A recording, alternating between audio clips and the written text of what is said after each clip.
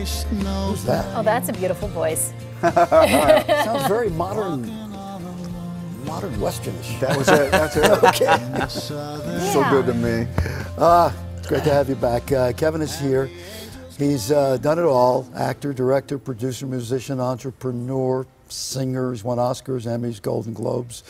He's made highly successful movies. He's made some really good movies that maybe not have been as successful as the successful ones, but maybe been better. But I don't want to get into all of that. Just this year, he had two movies come out with the third one, Criminal, opening uh, next year. Now he's got this thing that he's in for. And it is an unusual thing right here. It is called The Explorers Guild. It is a fantasy adventure about a group of adventurers trying to find a mythical golden city. The Explorers Guild was definitely a team effort. And I've got to tell you, this book is beautiful. It is. It feels like you've gone into a dusty old library, right? And That's you've pulled it off right. the shelf. Also with us, needs no introduction, John Baird. John, All right, uh, John Baird is here. thank you. Where's my uh, montage? Yeah. My, Work on my it next uh, time. Next the time. reason you're here is Yes. uh, eight years ago, you had an mm. idea. You had an idea. You're out in Hollywood, you're doing your work, trying to get things going, et That's cetera, et right. And then you have this idea for this glorious return to a kind of sort of real, true but fiction idea. Mm-hmm. How did you get involved? Well, he came to me eight years ago and tried to explain this hob, this kind of cluttered story, and I, I didn't quite get it at first. I said, "Hey, man, why don't you come up to the house?" He did a week later. We talked about it. I kind of w- wasn't certain about it then, but we, we dove into it and we began exploring the story. We created 22 minutes of animation. We then stopped after a couple of years of doing that, wrote a western together, and then came back. And John said, I'm, I, want to write the book of what we were doing on Explorers Guild. So this has been an eight-year journey, and the last three and a half has been the writing of it. Now, you, like many of your passion projects, this is one where you put your own money into it, right? I mean, and Yeah. this, and that's how you get this done, right? I know it, it, it doesn't want to be that way. It's not how you draw it, but it seems like it's been a pattern for me. is. You know, and my problem is I can't fall out of love with what it is that I love. And, and when John uh, started writing and we started uh, to work together, it was just a really magical experience, a highlight for me. All right, the essence of this book, for folks who are not, not understanding it, is what? It, uh, well, it's it, y- you know takes place in World War One, and there's a secret society of explorers covering the globe looking for this city you mentioned, uh, this mythical city called Shambhala, and we learn that the that the war and and really the fate of civilization are tied in with this city and its secrets. So it's critical that it be found and that it be found by the right people. It's just important we prevent the wrong people from getting there. So it's all about what is the city, can it be found, who will get there first, and really how do we know who should find it and who should be kept away. I don't think that's entirely clear until near the end. So the book is out now, and then of course Hey, everyone's I, I want to say book. We have to explain when we say book. because It, it is a multimedia extravaganza in a book. Kevin, you chose to go several routes with it. Yeah, well, I, I, it does set itself up for a lot of the different mediums. But you know, when we finally couldn't convince Hollywood at first, when I, they couldn't understand the story any better than I could at first, so we had to finally commit it to paper. Um, you know, it was just it was it was just something that was you know not going to really happen, and uh, we had to. We, we decided that we, we had to make this, but we decided that it would be a book. So you don't, when you read this, you don't see the movie immediately. We said, let's make this a novel because this, this, we're always looking back to our last century for the great novelists, for, Right. the, for those things that we as kids, we stayed under the covers with our flashlight. You know, these, these stories inspired us. And so we wanted to, we're well into the century. Who's writing those kind of books? yes, It's a book. It's a graphic book. It's an art book. It's a novel. I don't know how to describe it.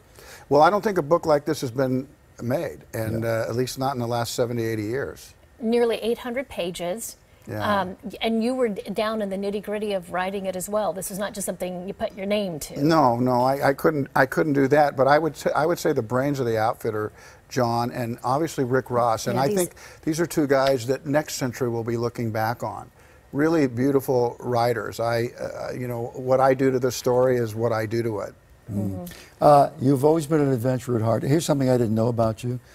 You did a canoe trip recreating the trail of Mm-hmm. Yeah. Lewis and Clark, Yeah. the great explorers in America. Yeah, yeah, yeah. When did you do that? Well, I did that when I was 19. I just, uh, I had, uh, you know, I had built three canoes and they all looked like it. They were all homemade and they all looked junky, but they all floated pretty good. But I've always, you know, I've always uh, most of the things I've done, I've wanted to do with other people, but if people won't go with me, I would always go myself. I worked on commercial fishing boats. I mean, when people talk about the deadliest catch and all that stuff. I, I did that when I was 19, 20.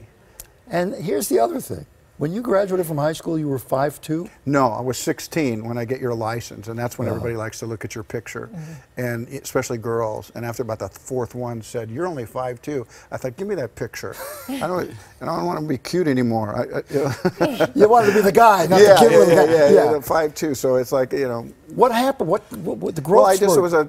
I, I, I think my whole career, even my growth spurt, I'm just a kind of a late bloomer for everything. It just Mm-hmm. it doesn't always happen for me immediately. This book, The Explorers Guild, was something that we had to labor over. Mm.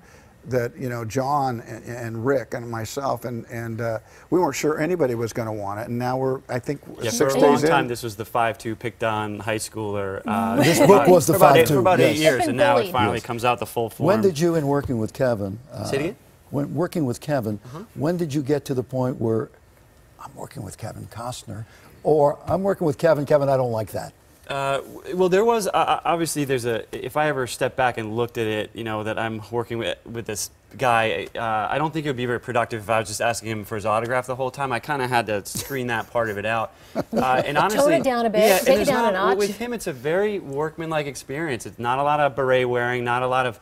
You know, ego, and it's we're really just in there knocking out page after page, and it was very easy just to slip into it together. And of course, it says volume one right up there. So Oh, when I showed yeah. it to my I son tried to tell yesterday, him that was that was a mistake. I an tried to tell him that, part. do, that we're too far out over our skis with this thing. Well, well, but let me bring something up here.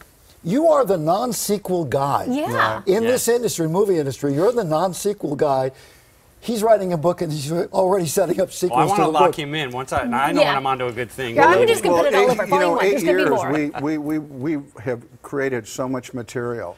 And these characters, we, you, I think you're going to really enjoy them uh, as you wade through. And we want to, we're going to go back and show their beginnings. There's a lot of rabbit holes that we're going to go down. I mean, Mm-hmm. uh, we, we, we came in at probably 1,100 pages. We cut out 100 page, we cut out 100 panels of art. We cut out, you know, a, a lot of stuff. So Th- This, of course, is a great gift book.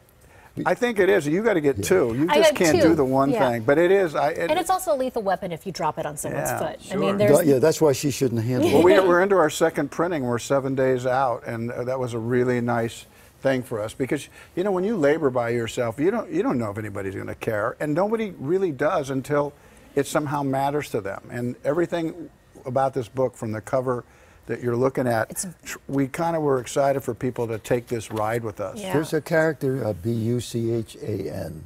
Buchan, how do you pronounce it? Bucking, yeah. Buck- Is that named after the writer? Was that a- Very good. Yeah, uh, there's okay, a lot jumping- of. Uh, okay. it's, it's not the real Romana Club, but it, there, there are Yeah. little things throughout, sort of sprinkled there. Yeah, you little catch nods little to names Kipling, here. and Yeah, I that's, see that, That's right. yeah. Aha. and who First would time you, we got that. if one. it does Okay. become a movie, who would you play?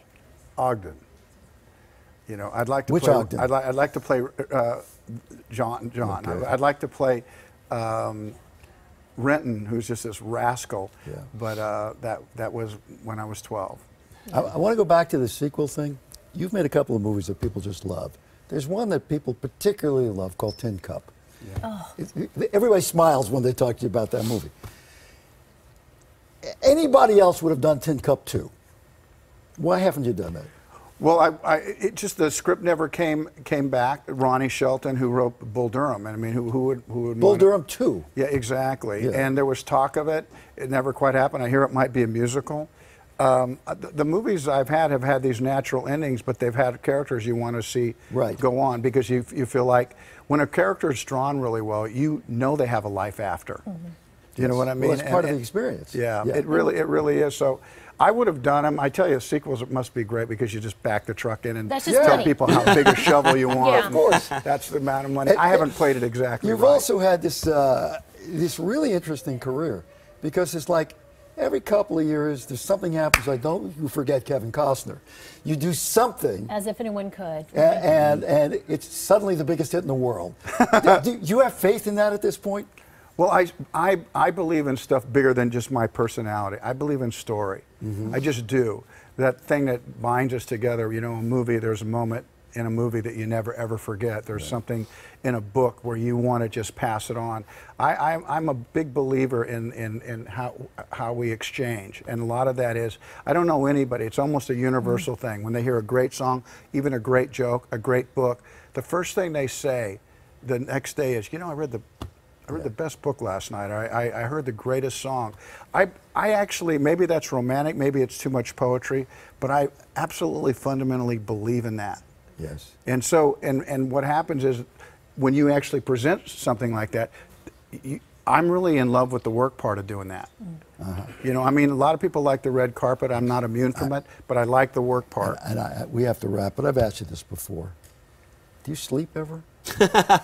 No, he's Yeah. got seven kids. How can Yeah, he yeah. sleep? seven I, kids. I know, and they're and, and three of them are in the bed every morning, uh, and uh, yeah, I, of course I do. I, I mean, I've but- had it pretty good. But you're astoundingly productive for what you do. Yeah. Yeah. I it's a gift, I guess. It's almost genetic. Yeah, I, I think I, you know, I, I just have everything for me I wanted. When I got out of school, I loved recess. I loved it when that bell went off. And for me, the bell goes off, and I realize that I've been able to do the things I've wanted to do. And I'm, I, I realize how lucky I am Yeah. about that. Well, Amen to that. great to see you always, Thank Kevin. Bob. Thank you for coming. And John, Nice to John, pleasure nice to to meet you. John. Baird. Kevin and John will be at the Barnes and Noble at the Grove tonight, starting at 7. Then tomorrow night they'll be at the Moss Theater as part of the Live Talks LA. That begins at 8. And the Explorers Guild Volume 1 is out now. That's Volume, right. 1. And remember, you go into the front room, but all the action's in the back room.